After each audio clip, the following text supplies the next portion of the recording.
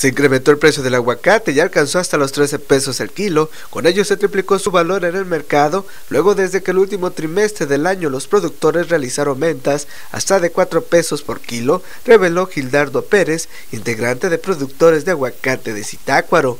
Explicó que hace un mes estaba muy barata la fruta y los productores organizados y con producto de calidad certificada los compraban en 7 y hasta 4 pesos. Al día de hoy vienen empacadoras de Uruapan, ofrecen 10 pesos y nosotros pedimos 13, que es lo que marca la página de la Comisión Michoacana del Aguacate.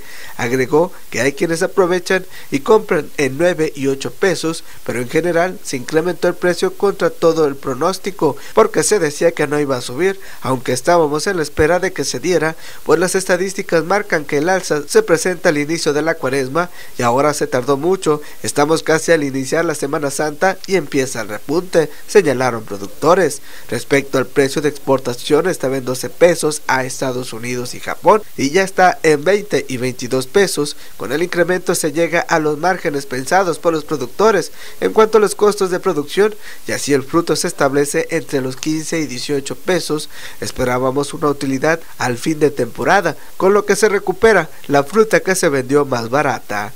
Sergio Cano Guerrero para Noticieros Nuestra Visión.